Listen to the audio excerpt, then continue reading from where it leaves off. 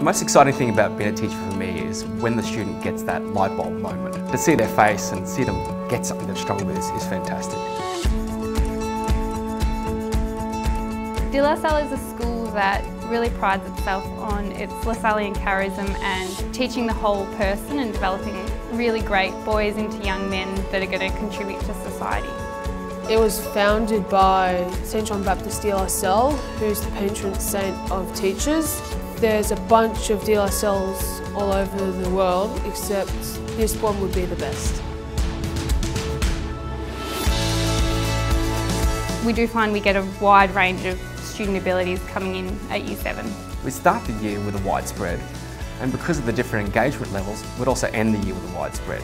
What you were teaching wasn't actually targeting students at their point of need, so you were missing the top end students and often going too fast for the lower end students. In primary school, I didn't really enjoy maths that much. Sometimes it was too hard, sometimes it was too easy, it was never like the right level. If you miss the first part of it, then you never got into the hard stuff. We've had a big focus on the last couple of years on every student making one year's worth of growth in one year.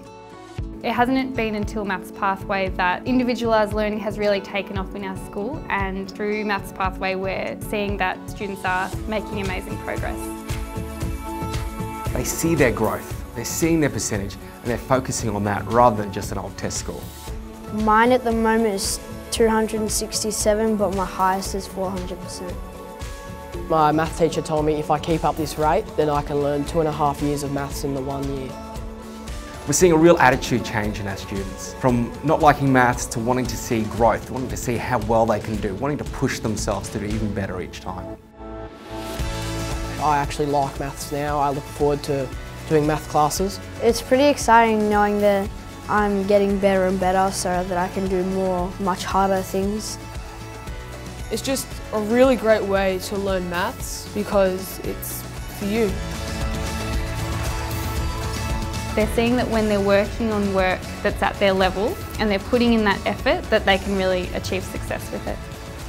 Oh, I like to think about maths teaching this way. It was the old way, the old chalk and talk method. Maths Pathway drags that into the 21st century. It allows students to do things at their own pace. It allows teachers to help students at an individual level.